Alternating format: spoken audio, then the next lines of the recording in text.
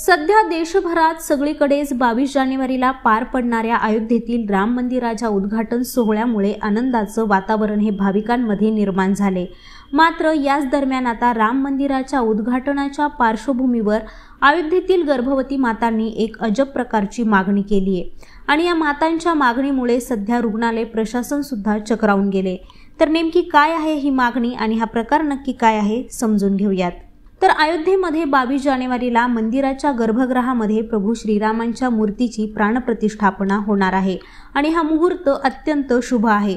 त्यामुळेच अयोध्येमध्ये ज्या गर्भवती मातांची प्रसूतीची तारीख ही बावीस जानेवारीच्या आसपास आहे अशा सगळ्याच मातांकडून एक प्रकारची मागणी करण्यात येते ती म्हणजे की आमची प्रसूती ही बावीस जानेवारीलाच करण्यात यावी. आणि त्यासाठी या महिलांनी रुग्णालयामध्ये मोठ्या संख्येने अर्जसुद्धा करायला आता सुरुवात केली आहे त्यामुळे आता या महिलांच्या या अजब मागणीमुळे रुग्णालय प्रशासनाला सुद्धा मोठा प्रश्न पडलाय. कारण अशा प्रकारे या महिलांची प्रसूती ही बावीस जानेवारीला करणं म्हणजे ती सामान्य पद्धतीने न करता शस्त्रक्रियेनेच करावी लागणार आहे. तसंच एका रुग्णालयात एका दिवशी सामान्यपणे चौदा ते पंधरा या शस्त्रक्रिया करता येतात.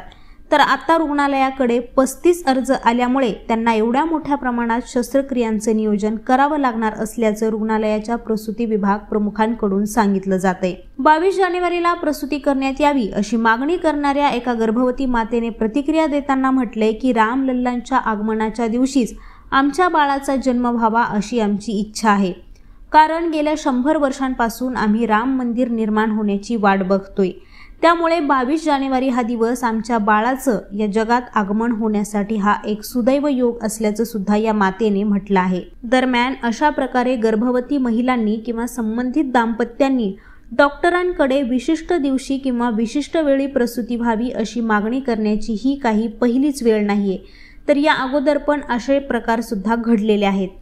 कारण कुणीतरी सांगितलेल्या मुहूर्तावरच बाळाचा जन्म व्हावा किंवा अनेक वेळेस आई किंवा वडिलांच्या वाढदिवसा दिवशीच बाळाचा जन्म व्हावा अशी सुद्धा मागणी अनेक वेळेस केली जाते.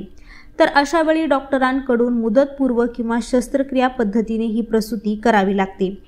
मात्र अशा प्रकारची प्रसूती ही गर्भवती मातेच्या आणि बाळाच्या जीवावर बेतणारी ठरू शकते असं डॉक्टरांकडून सांगितलं जात आहे तर यांसारख्याच ताज्या घडामोडी जाणून घेण्यासाठी लेट्सअप मराठीला सर्व सोशल मीडिया हँडलवरती फॉलो करायला विसरू नका. पाहत रहा लेट्सअप मराठी.